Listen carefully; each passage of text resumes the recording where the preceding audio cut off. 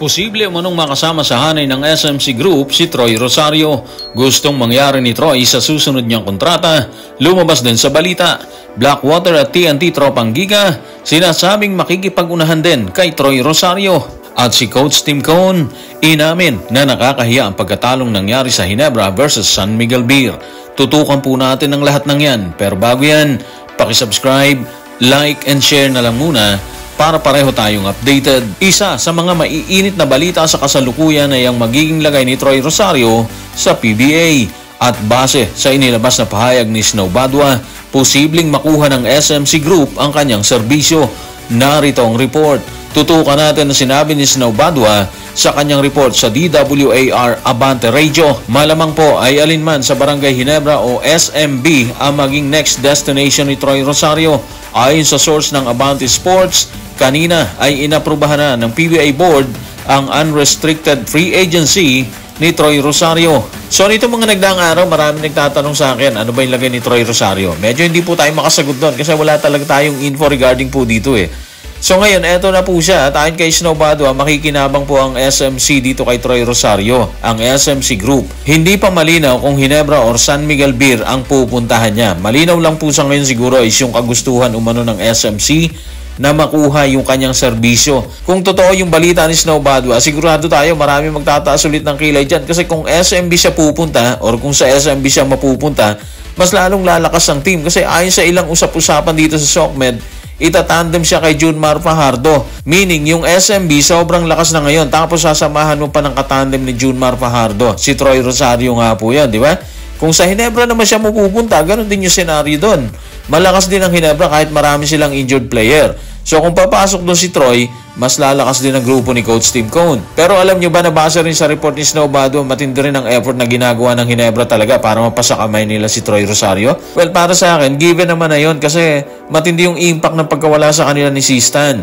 So ngayon, may magandang option silang nakikita para mapalitan ng binakanting pwesto ni Sistan dito sa Gene Kings. Pagkakataon na nila to kasi nawala din sa kanila si Isaac na hinuhulma ni Coach Tim Cone para sa future ng Barangay Hinebra dahil sa injury. Kung tila desidido na nga ang Barangay Hinebra na makuha ang serbisyo ni Troy Rosario, Rosario, hindi naman ikinailan ng matikas na bigman ng kanyang pakay sakaling pumirma ulit siya ng bagong kontrata. Tanong, ano nga ba ang gustong mangyari ni Troy sa muli niyang pagpirma ng bagong kontrata? Tutukan natin ang sinabi ni Troy sa report ng Fast Break. Titingnan ko lahat ng options. Ngayon kasi gusto ko i-secure na yung family ko eh. Hindi na ako bumabata, di ba? So, ito na yung pinaka-last contract na makukuha ko na. Kumbaga, nasa peak. Yung mga next na, pababa na yan. Okay, so doon tayo. So, titingnan niya lahat ng option. Kung option at option din lang yung usapan doon, sigurado tayo, bibigyan siya ng SMC ng magandang offer dyan. Siyempre, hindi nila titipirin yan, di ba? Bibigyan nila ng offer si Troy na hindi niya pwedeng tanggihan dyan. Dagdag pa, yung mapupunta siya sa sikat na team, Hinebra man yan or SMB. So, para sa akin, win-win situation yun sa kanilang dalawa. Sa panig ni Troy, makukuha niya ang gusto niyang alok mula sa kumpanya. Sa panig naman ng SMC Group, whether Hinebra or SMB siya mapunta, madadagdagan sila ng dekalibreng player na pwede nilang sandalan sa bawat laban. Sabihin na natin na doon siya napunta sa Hinebra, laking bagay nung kay Coach Tim Cone ha. Mapapalitan kagad ng pagkawala ni Sistan at ni Isaac Akgo sa team. Pero guys, sa lahat ng yan, si Troy Rosario pa rin ang may huling baraha. Siya pa rin ang magdidesisyon kung saan siya pupunta matapos siyang aprubahan ng PBA Board. Habang gustong isecure ni Troy Rosario ang future ng kanyang pamilya na posibleng mangyari kung pipirma siya sa SMC Group, tila naghahabol naman ang dalawa pang kupunan para mapunta sa kanila si Troy. Narito ang pasabog. Tutukan natin si Snow Badwa sa kanyang report sa DWAR Abante Radio. Bukod sa Hinebra at San Miguel, isa pa rin sa naghahabol kay Troy ay ang TNT Tropang Giga. Samantala, lalaban umano ng basagan ng Blackwater ma-retain lamang ang kanilang star. Mainit yung mga balita ngayon, no? So yung Blackwater gusto talaga nilang i-retain si Troy. Given naman yun kasi mahirap maghanap ng kapalit niya kung pakakawalan lang nila yan. Sayang, sabi nga nila, di ba? Ando na sa kanila pero pakakawalan pa. So, ang gagawin talaga nila is ipaglaban ang gusto nila hanggang sa makuha ulit nila ang serbisyo ni Troy. Sa panig naman ng TNT Tropang Giga, kung totoo yung balita, gusto nilang ibalik sa team si Troy na pinakawalan nila noong 2022. Siyempre wala tayong alam kung gustong balikan ni Troy ang TNT o hindi. Ang sigurado lang tayo ngayon is mag-aalok ang TNT na maganda kay Troy kung gusto talaga nila ulit na makuha ang serbisyo niya. Pero base nga sa report, parang pinag-iisipan lang umano ni Troy kung aling pulang jersey ang sasamahan niya. Grabe yung clue ha. Anyway, kahit saan siya mapunta, sigurado naman tayo na makikinabang siya at ang kanyang pamilya. At the same time, pakikinabangan din siya ng team na kukuha sa kanya. Parehas lang, walang talo. Parehong panalo sila dyan. Matapos ang balita kay Troy Rosario, nagbigay naman ng pahayag si Coach Tim Cone tungkol sa nalasap na kabiguan sa mga kamay ng kapatid na SMB kasabay ng kanyang litanya matapos pulbusin ang Phoenix Fuel Masters. Narito ang kanyang paglalahad. Tutukan natin si Coach Team sa report ni Jerry Ramos sa spin. Yung game namin sa SMB, lahat kami na-disappoint sa game na yon. Nahiya talaga kami doon.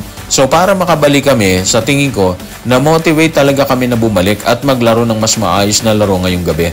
Sinimulan talaga namin gawin ng mga bagay at kontrolin yung laro may mga moment na hindi maganda pero mas maraming parte solid yung laro namin ngayong gabi. Hindi talaga maganda yung pagkatalo nila sa SMB sa totoo lang. Imagine 49 points ang tambak sa kanila doon. Mabigat yan para sa isang team na kilala sa never say die attitude. Buti na lang nakabalik na sila at kumuha ng isang panalo versus Phoenix Fuel Masters sa score na 112-96. Maaga kasi nag-init si Jabet at si Scotty Thompson kaya kumumada kagad ng 36 points ang Hinebra laban sa 24 ng Phoenix sa unang quarter pa lamang ng laban.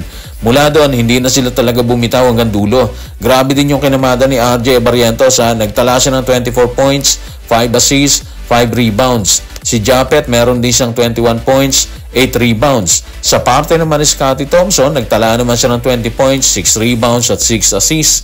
Ang lalaki ng numbers nila, di ba? Pero yung kay Justin, medyo bumaba siya ngayon. Actually, magkasunod na ito ha. Mula sa SMB, meron siyang 16 points doon sa SMB kung di tayo nagkakamali.